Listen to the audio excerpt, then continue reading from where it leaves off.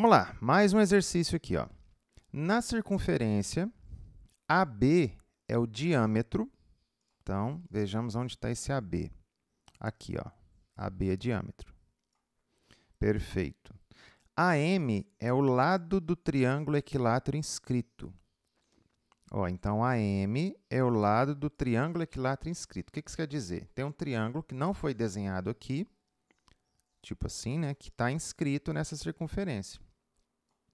Ou seja, aí o autor ele suprimiu esses dois lados aqui, né, e deixou desenhado apenas o AM, tá? É isso. Para que, que ele deu essa informação? Bom, a gente sabe que num triângulo equilátero, todos os ângulos valem 60 graus. Se todos os ângulos valem 60, o que interessa para a gente aqui ó, é esse daqui. Por quê? Porque esse ângulo ele é inscrito e ele olha para esse arco aqui. Ó. Então, quer dizer que esse arco ele remete ao ângulo de 120 graus, né? Por quê? Porque tem um ângulo central aqui, ó, olhando para ele, tá vendo? Então, todas essas informações que foram dadas é para te falar que esse arco aqui, ó, tem um ângulo central olhando para ele.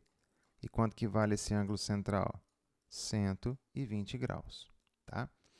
Bom, vamos continuar lendo então. É, BN, ó, que é essa aqui, é o lado do quadrado inscrito. Ah, tá. Então, novamente, ele fez um desenho e apagou o desenho. Ó. Então, esse aqui é o lado do quadrado inscrito. Então, quer dizer que tinha um quadrado aqui, em algum lugar. Tá? E a gente sabe que um quadrado, todos os ângulos valem 90 graus. Bom, o que, que vai interessar para a gente? É, esse lado aqui, que é o que ele deu, é o lado de um quadrado. Então, vejamos aqui, o que, que a gente pode usar? Ó, é, eu não sei aonde estão os vértices desse quadrado. É, eu, no meu desenho aqui, eu coloquei em cima do B, mas eu não sei se vai... Não, aqui vai, né? O N e o B, eles são vértices do quadrado, tudo bem. Mas eu não sei aonde que esse vértice vai bater e nem onde esse vértice vai bater. Certo? Não, não faço a menor ideia. Eu tenho certeza dos vértices NB. Então, o que, que acontece? Ó, os vértices NB, eu posso falar que... Vou até trazer para cá, ó. Depois eu apago. Então, vamos colocar o N e o B aqui que é esse lado aqui, né? Ó.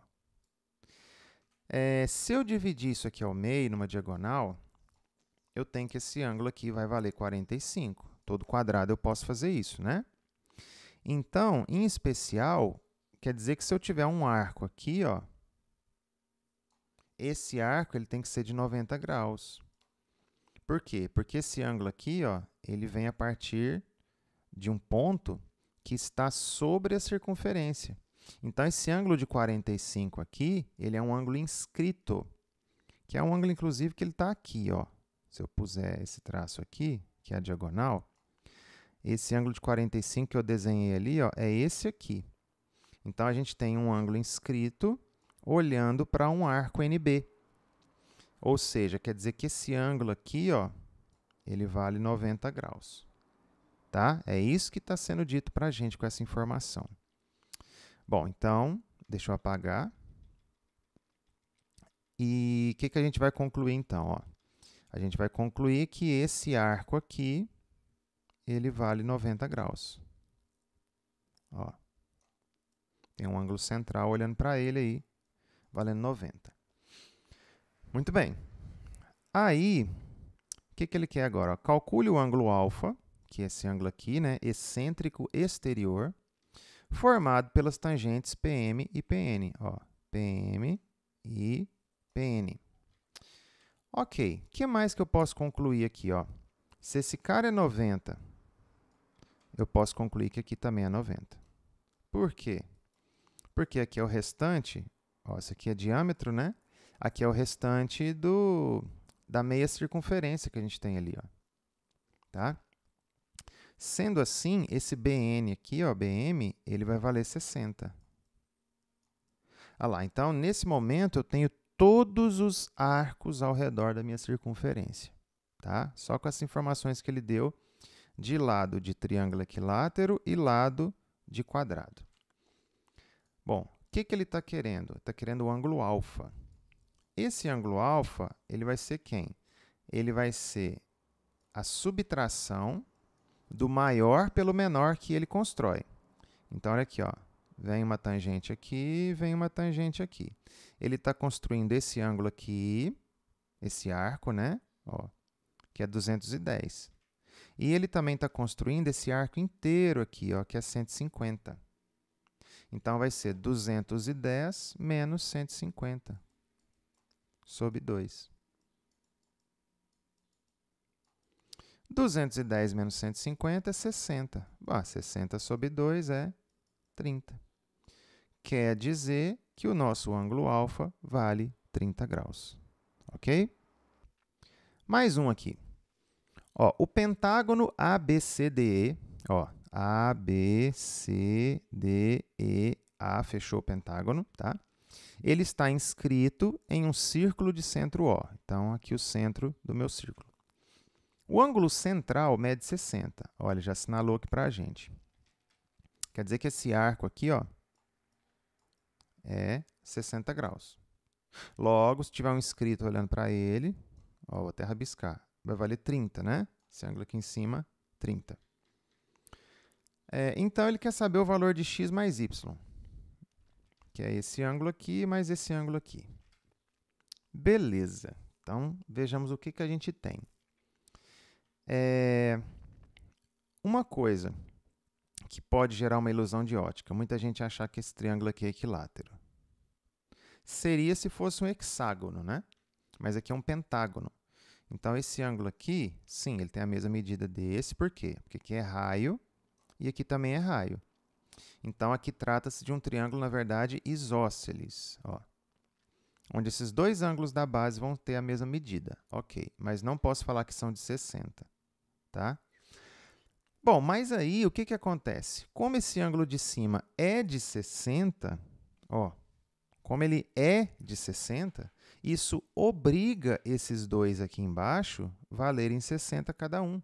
Por quê? Porque a soma deles vai dar 120. Como ambos têm que ser iguais, né? mesmo valor, então sim, eles são 60 e esse triângulo sim é equilátero. Então, note, uma coisa é você concluir que ele é equilátero e outra coisa é você achar que ele é equilátero, tá? Então, esse ângulo aqui é de 60 e esse ângulo aqui também, tá bom? Aí, agora, eu vou usar o que a gente chama de visão além do alcance, como diria o Lion, né, dos Thundercats. É, note que aqui a gente tem um ângulo inscrito, ó, que é o y. Esse ângulo inscrito, ele olha para esse arco aqui. Ó. Só que o que a gente não pode esquecer é que esse arco, ele vem de um ângulo central, que é o dobro da medida desse ângulo inscrito aqui. Quer dizer que esse arco aqui todo, ó, ABCD, ele vai valer 2y. Tá?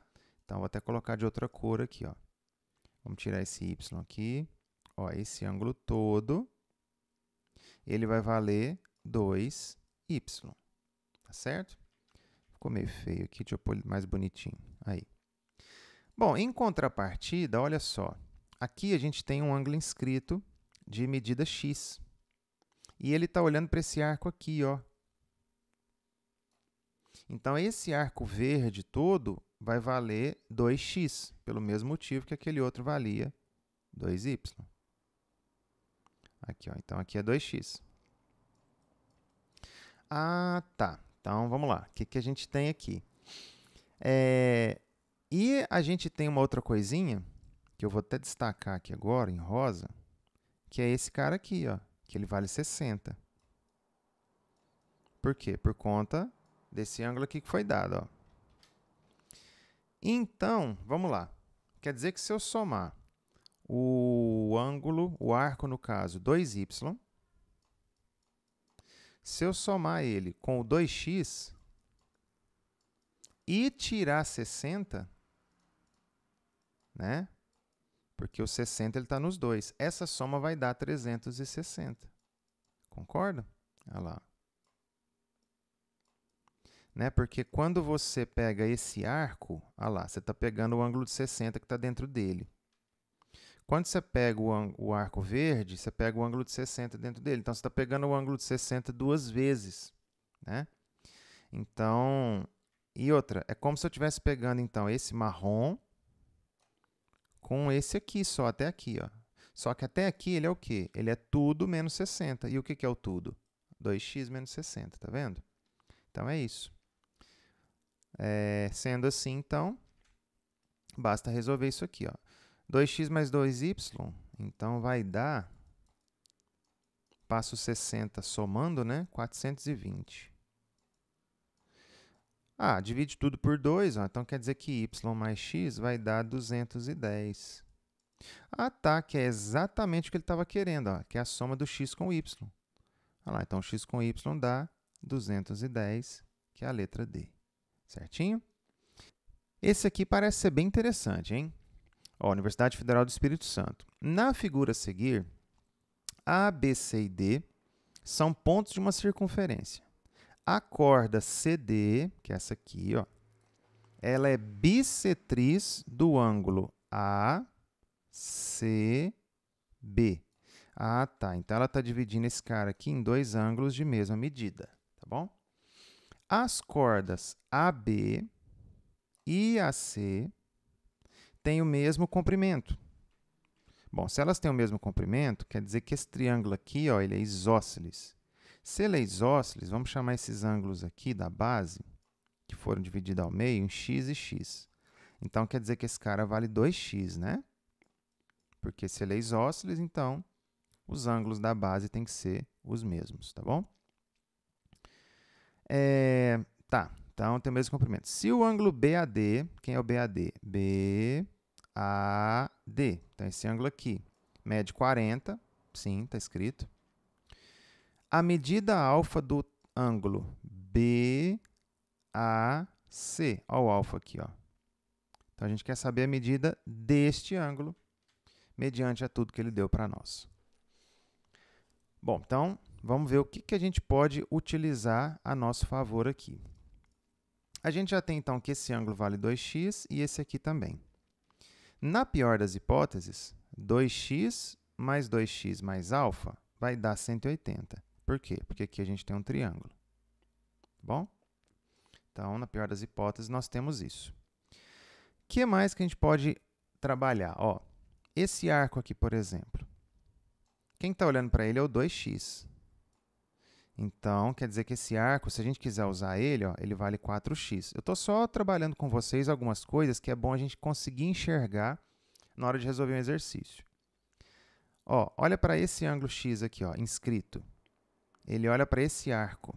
Então, esse arco aqui ele vale 2x, né? que é o AD. Ó. Tem aqui também um ângulo x ó, inscrito olhando para esse arco BD. Então, ele também vai valer 2x. Ó. E a gente tem esse alfa aqui olhando para esse cara aqui. Ó. Como ele é ângulo inscrito, então quer dizer que esse aqui é o central, vai valer 2 alfa. Então, outra coisa que a gente pode concluir aqui, ó, 2x mais 2y mais ó, 2x mais 2x mais 4x mais 2 alfa vai dar 360. Gente, não é uma coincidência o fato da soma desses caras aqui ó, terem dado 180. Olha lá, ó. 2x mais x mais x dá 4x, mais alfa, 180.